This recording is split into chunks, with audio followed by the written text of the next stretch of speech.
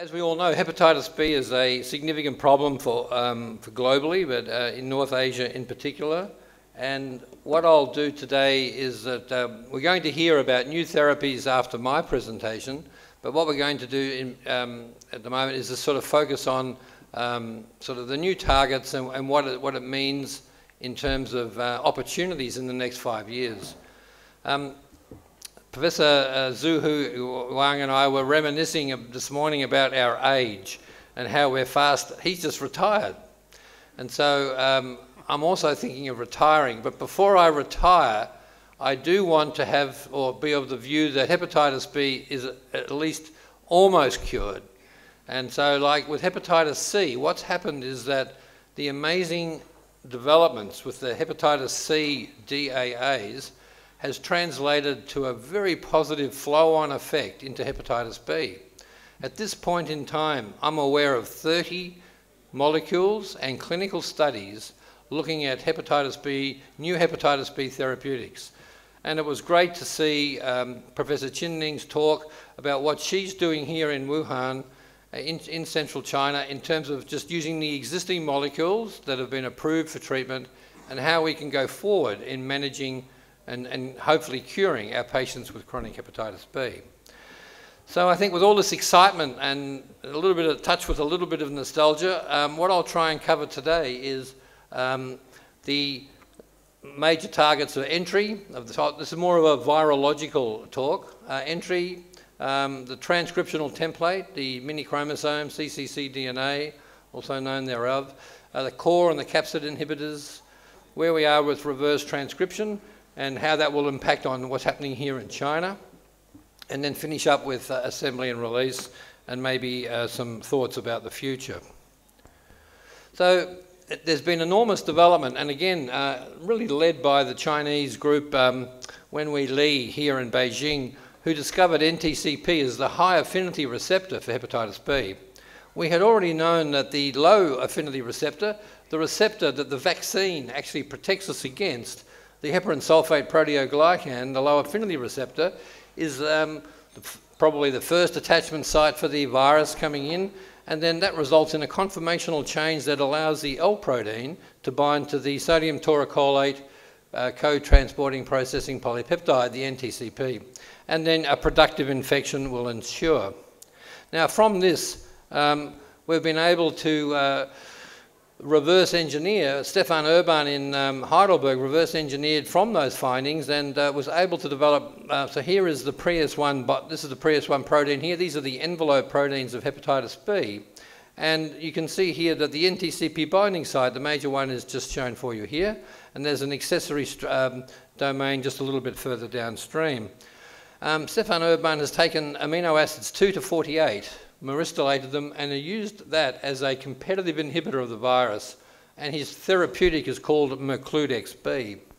So Mercludex B uh, has gone into the clinical trial in uh, uh, Eastern Europe, mainly in Russia, and um, has shown some, some promise in, the, so in a group of e antigen positive patients. Numbers were small, there were only eight, Four out of the eight showed a log drop in HBV DNA in the presence of the Mercludex. So the entry inhibitors are showing some promise, but they got a, a more significant decline and a higher number when used in combination with interferon.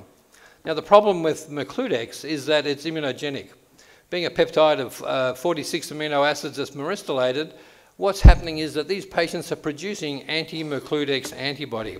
Now that might be a good thing or it might not be we don't know at this stage, but um, it will complicate, I think, the registration process.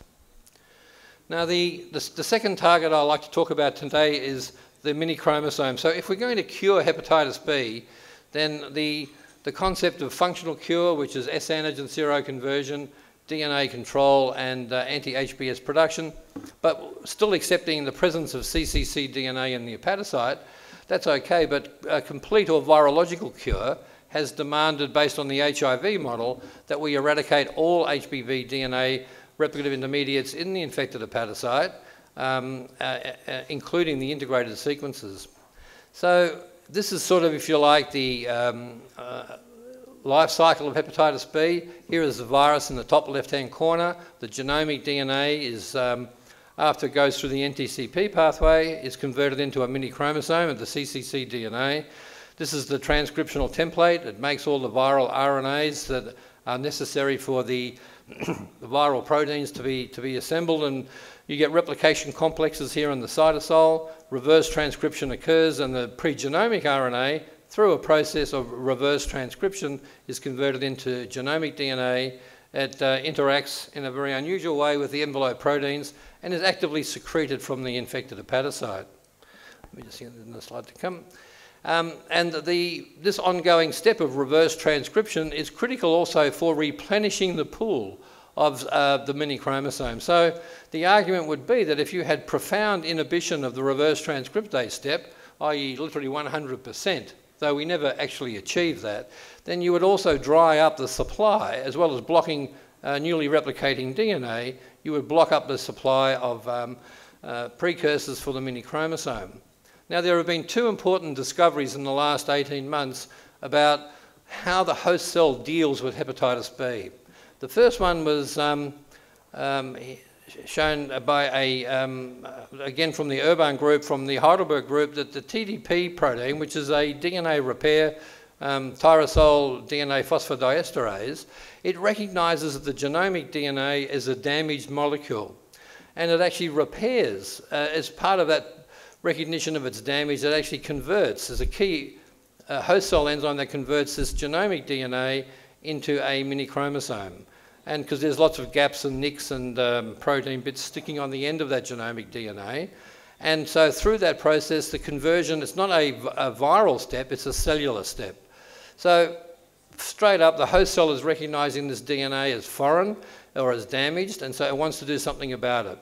The second major discovery uh, came from uh, Michael Strubin in Geneva, uh, showed, it published only just a few weeks ago in Nature, that the hepatitis B X protein is a, um, uh, interacts with the host cell complex called uh, structural maintenance chromosome numbers 5 and 6. So every time a piece of DNA enters into the nucleus, the um, host cell will chromatinize it. It will put little uh, histones and uh, other regulatory proteins associated with chromatinization on that DNA. And the goal of that process with SMC5 and 6 is to take that invading or input DNA, fully chromatinizing it and parking it somewhere in the remote corner of the nucleus so that it doesn't get uh, or do anything that it really shouldn't do. Probably it will integrate later on. So SMC5-6 is really critical, if you like, as an innate sensor preventing oversaturation or invasion of the host cell nucleus with viral DNAs. Now, what Michael found was that the hepatitis B X protein completely inactivates that process.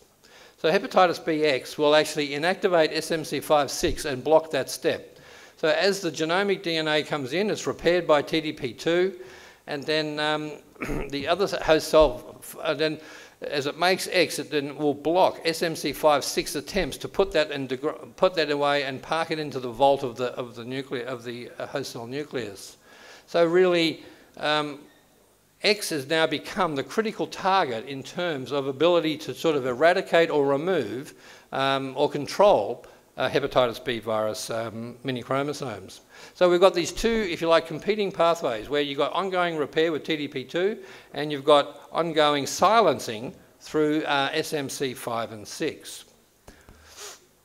So what is CCC-DNA? Well, CCC-DNA stands for covalently closed circular DNA. This is a viral mini chromosome. For those of you who are old enough to remember the SV40 story, it's like rosary beads, they're beads on a string. And um, shown for you here are some studies that we also showed and collaborated with Thomas Box group some years ago and showed that the hepatitis B core protein is a key component of the viral mini chromosome. So as well as TDP2 repairing it, the core protein of hepatitis B stabilizes it. So we've now got two viral targets that can manipulate or affect the viral mini chromosome or cccDNA. The first one is the core protein and the second one is the X. So if we inactivate either the core protein or the X protein, theoretically these are two very important targets that could affect the cccDNA and therefore our ability to truly cure hepatitis B. Now, the other important thing is that each one of these little nucleosomes that we uh, see on the uh, rosary beads of the mini chromosome reflects a torsional state. It reflects a super twist. So for each bead, uh, you can actually put, you'll put in a, a negative super twist of 180 nucleotides. Now, we did a 2D gel some years ago and demonstrated that human and woodchuck and duck HPV, CCC DNA, is a mini chromosome consisting of two populations of super twists, a half chromatinized, shown for you here with B1 and B2, but most importantly, this is the fully chromatinized form here, which is this group A up here. These are the ones that we believe are hit by SMC56, fully chromatinized, fully wrapped up, and stored in the remote access parts of the nucleus. So I think it's important to understand that the CCC DNA is not a single entity. It comprises of at least 21 different topoisomers that exist in two states, transcriptionally um, uh, active at half chromatinized and transcriptionally silent at fully chromatinized. These are two important concepts if we're going to understand curing hepatitis B. So here is the uh, diagrammatic model, and it hasn't really been known uh, what SMC56 does, but what we do know, it consists of a series of condensin, cohesin proteins that are key parts of the, of the nuclear complex of the cell and are involved in chromosome topology and organisation. So it's not surprisingly then how critical SMC56 will be into the stability and the life of, of, of a mini chromosome and CCC DNA. Now, what we know is that depletion of any one of these subunits, and it's quite a complex macromolecule, hist um, evolutionarily um, conserved over uh, millennia, uh, results in destabilization of this complex. And so what Michael Strubin did in Geneva was showing that X actually through the um, ubiquitination pathway, an E3 ligase, results in the um, destruction of e SMC5 and SMC6. Now we've already done the core. So as um, I think in um, Professor Chinning showed that uh, uh, in an earlier paper, again from uh, the German groups in, um, in Munich, from um, Protzen, uh, early Protzer's group, that uh, the interferon pathway activates ApoBec3A, recognizes the core protein bound to the CCC DNA mini chromosome, and actually uh, deaminates the uh, uracils, that are, the, the thymidines that are there, and then that results in repair through AP sites and degradation of the mini chromosome. She actually discovered through um, the lymphotoxin beta receptor that you get ApoBec3B will also be activated through this separate pathway. Again, ApoBec will also align itself with the core protein that's on the mini chromosome and result in um, uh, degradation through deamination of the mini chromosome. But what um, Uli found was that only half of the molecules were degraded. These are the molecules that are transcriptionally active at the time of when either the lymphotoxin beta pathway or the interferon receptor pathway are activated. So we still have work to do in terms of identified pathways that are involved in digestion and also stabilisation of the mini chromosome, but we are still left with this pool of mini chromosomes where um, uh, they're parked away in the vault of the, virus, of the cell nucleus. And so this was summarised in a very elegant um, editorial in Science in relationship to uh, uh, to Uli's paper. And you can see here, these are the two pathways through interferon or through the lymphotoxin beta pathway, which results in deamination, core dependent, and that's where the core protein is really the Achilles heel for the mini chromosome. It flags to the cell that that's in there, and then it promotes that degradation uh, and, and, possible cure for hepatitis B. Now, the other way that we can manipulate the mini chromosome or um, transcriptionally active DNA in the cell is, um, is what Ventura talked about today with HIV with in terms of epigenetic modification. We can use histone acetylase transferase inhibitors to actually manipulate the state of transcriptional activity of the viral mini chromosome. So we've already talked about different, different uh, topoisomers and their transcriptional states. Well, we know that X blocks it in this direction, um, and it can be um, sort of promoted in this direction with, um, with X directly. And uh, we know that if we uh, interfere with the, uh, with the uh, acetylation and, um, uh, and, and the, the process of the of stabilization of the mini chromosome, that its transcriptional activity can be con controlled. So we can sort of understand that the um, nucleosomal spacing will be affected um, and also um, the transcriptional activity likewise. So there are certainly challenges in terms of uh, targeting cccDNA, but we now know that there are viral proteins, exon, exon core, that clearly uh, affect the survival and the um, integrity of the mini chromosome and the transcriptional activity of the mini chromosome. Therefore, these are great targets for pharmaceutical companies to now start to have a look and try and develop small molecules to be able to block um, transcription, promote clearance, and, uh, and cure. So let's have a look at the core protein because really the core protein um, that's something that we've got a lot of information of. Many years ago, the core uh, protein was actually crystallized. We know it exists as a, as a dimer. So once it's been translated in the cytosol, forms these dimers around the replication complex of pregenomic RNA and polymerase. And so you get capsid assembly. And, uh, and the core protein, as I said, it's uh, critical for cccDNA amplification and the stability and the maintenance of the viral mini chromosome. Now, there has been um, claims that it's important in terms of restoration of the host immune response. It affects the promoter enhancer activities of some innate uh, immune genes like ISG15, but that hasn't been confirmed.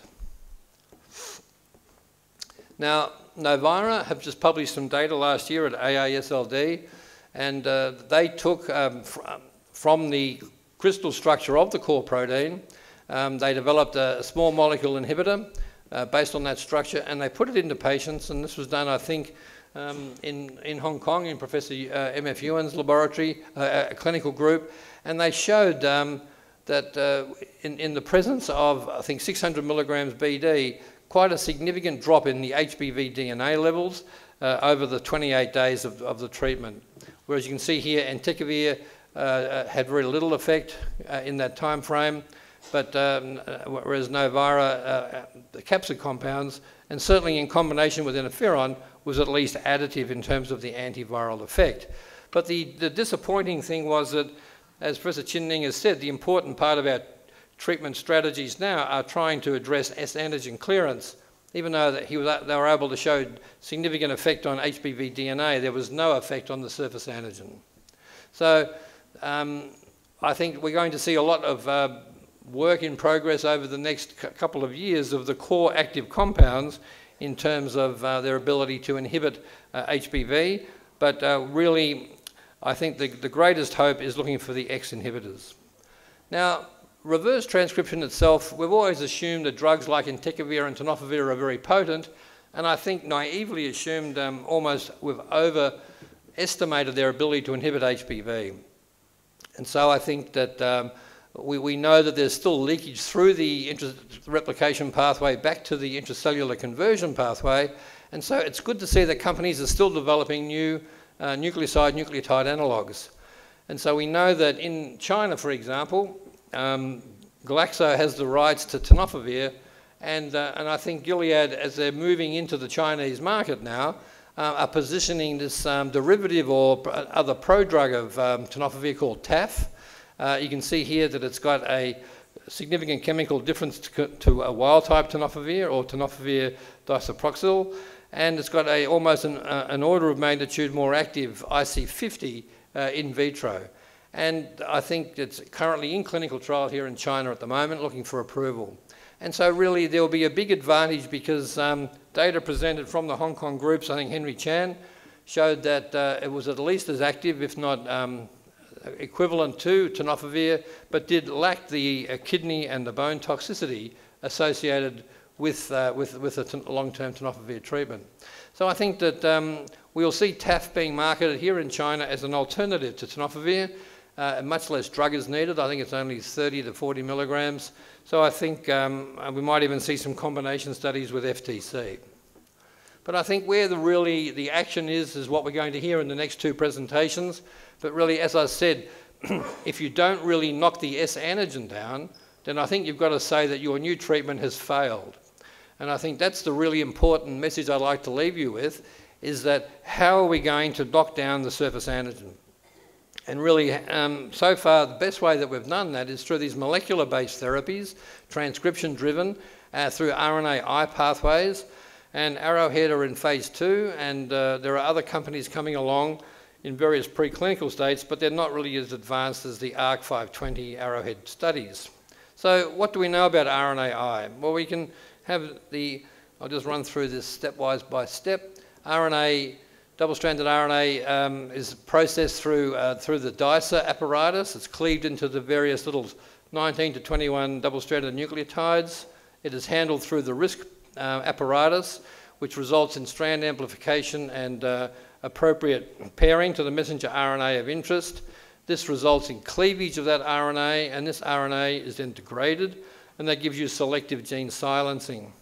So what you started out with, you can target a particular gene or region with a, a synthetic double-stranded RNA molecule, and then it's processed through this directly into uh, the RISC apparatus, which results in therapeutic silencing.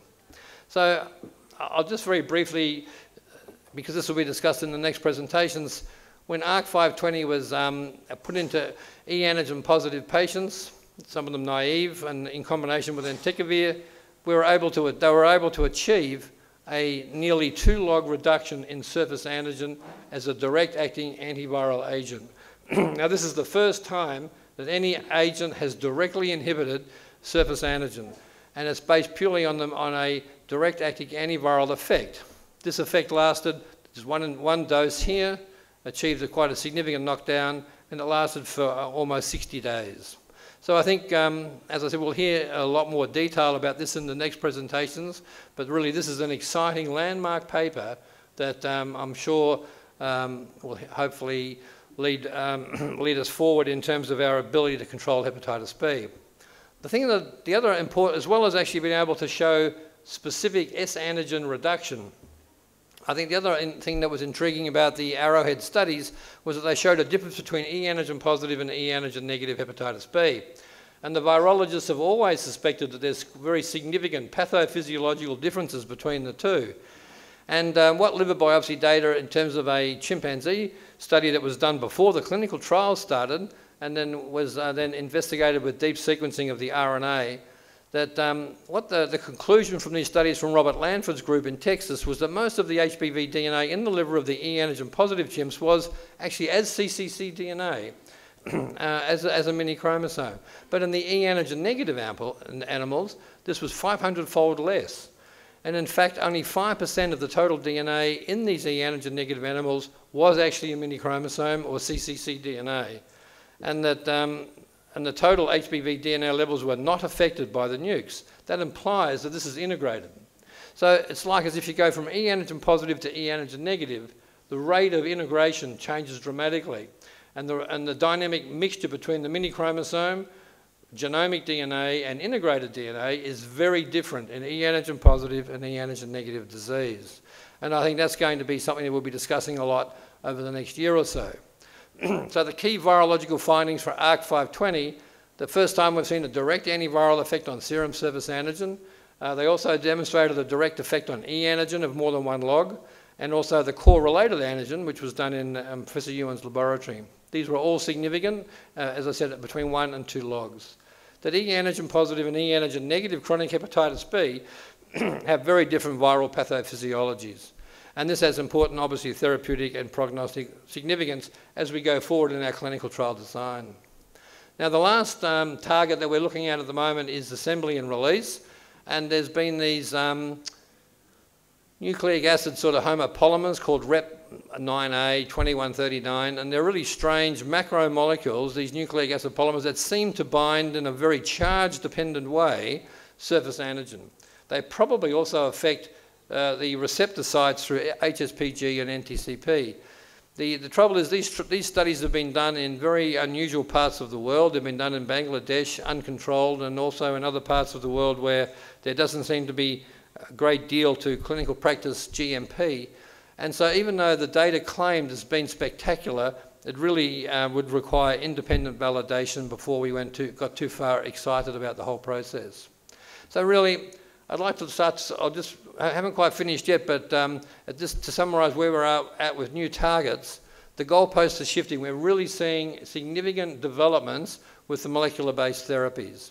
I think the medium-term aim for the field is to achieve a functional cure, S-antigen seroconversion, uh, S-loss, and anti-HBs production. We're seeing over 30 new agents coming through on hepatitis B, and the, the identification of the receptor will really be um, has empowered the virologist to be able to look for new targets and, uh, and, new, and new drugs.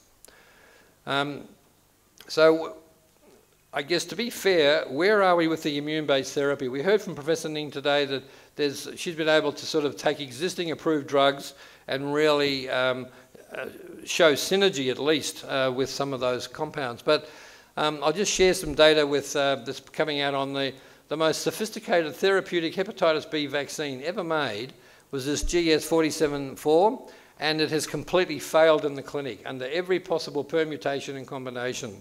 So the therapeutic vaccines have been so far, uh, this is about the fifth one that I'm aware of that's completely failed and really the company's going away to have a bit of a rethink about what went wrong. I mean, not, not one patient actually showed any benefit from the therapeutic study. Um, and I think the major problem is that was alluded to again by Professor Ding today is the impact of the surface antigen. And this is something that we've really got to be more aggressive about in our discussions in terms of treatment. Just to remind you, when I first became a fellow 30 years ago, what my boss told me is that surface antigen is secreted in vast excess over virions by sometimes three or four orders of magnitude. It circulates in the blood at enormous concentrations, often up to 400 micrograms per mil. That's an enormous burden. 1 to 2% of the total serum protein is hepatitis B surface antigen. This is what we use to make the first generation vaccine. But the thing that strike, strikes me as most amazing about this protein is that there's nothing like it in the database. It has eight cysteines shown here in the, uh, the reds and eight prolines. And this results in an enormous amount of, of rafting and um, conformational dependence that uh, is really unique in biology. It also has four trans transmembrane domains over this very short area of 50 amino acids.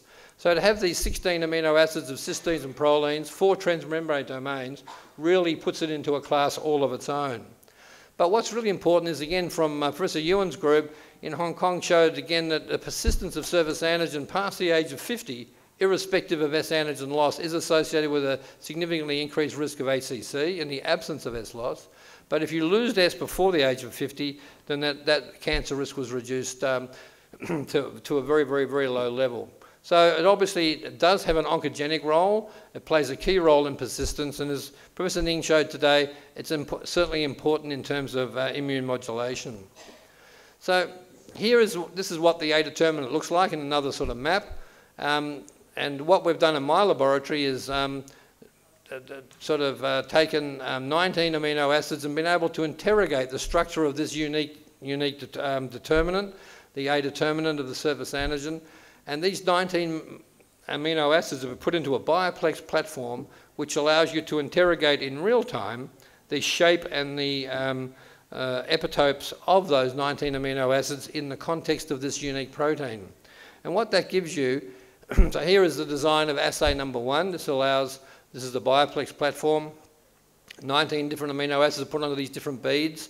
Uh, we capture the surface antigen uh, in that right epitope and then sort of each bead has got one particular monoclonal so that you know the particular profiles, epitope positioning, gaining or lossing accordingly. The other assay that we built in, in, in, in parallel to this was based on um, an observation that we started to see from the, um, from the Gilead um, tenofovir 103 registration trial was that there's sometimes in, in, in patients free circulating anti-HBs. So we designed an assay that has the ability to measure anti-HBs coexisting and co-circulating in the presence of excess surface antigen. So we have these two assays, an assay that measures the epitope change or the shape, shape shift of the surface antigen and the ability to sort of measure antibody to that same region at the same time in the coexisting surface antigen positive patients. And the tenofovir 103 trial was exceptional because there were 20, so there were 14 of the uh, 24 patients actually had S antigen seroconversion in the first 12 to 14 months of the study and actually experienced a functional cure. And um, we were very interested in these 14 patients. And what we showed was that using that uh, Bioplex assay that I just showed you, that we were able to define a clearance profile. In these patients, they make a unique antibody to the um, uh, epitopes to those, um, that A determinant, uh, to loop 1 and loop 2 of the A determinant. Now, in those patients that uh, were matched for genotype and uh, no response or no clearance profile or no S antigen change, there was uh, no ability or, or, or, no, or no production of the clearance profile. So what we were able to show and confirm later on in the Arrowhead studies was that um, for patients who actually uh, seroconvert, that we were able to show a significant association with the developments of this clearance profile, loop 1 and loop 2 changes, a significant decline in S antigen, and, and or a seroconversion profile with a positive predictive value of over 80%. And so I think that for the first time we're now starting to get an insight into the importance of the roles of B cells and the humoral response in terms of eradicating HBV. So my last slide will be looking something like this. What would a hepatitis B curative regimen look like? And of course, we, we, we, were always compelled in the past to say a potent nucleoside or a nucleotide, we've got to knock out the CCC DNA, we've got to do something about that surface antigen, and really we always want to add in something immunological. But I'd put it to you that we don't need that. That I believe, like, like with hepatitis C, if we control the virus and its products, we may very well see the ability of the host to recover and spontaneously clear the hepatitis B virus. Thank you very much.